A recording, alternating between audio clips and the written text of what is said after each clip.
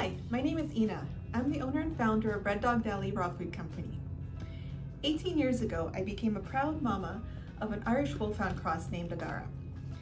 I knew that giant breeds were prone to a lot of health problems, and I wanted to make sure that I did everything to give her a chance to have a long and healthy life.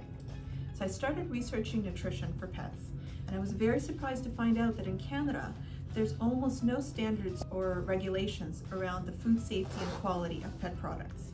I was even more surprised to see that in the pet industry, um, health professionals were still recommending highly processed foods as a healthy option.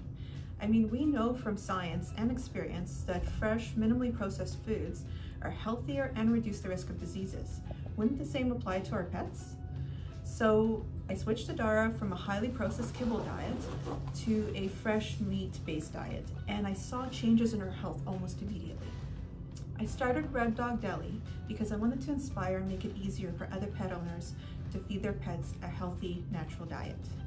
We manufacture a high quality, fresh, raw food diet for dogs and cats and provide support for pet parents to make the switch.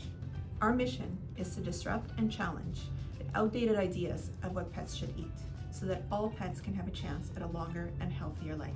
Although we have an uphill battle, we're up for that challenge. We know it's the right thing to do and our pets are counting on us. Thank you very much.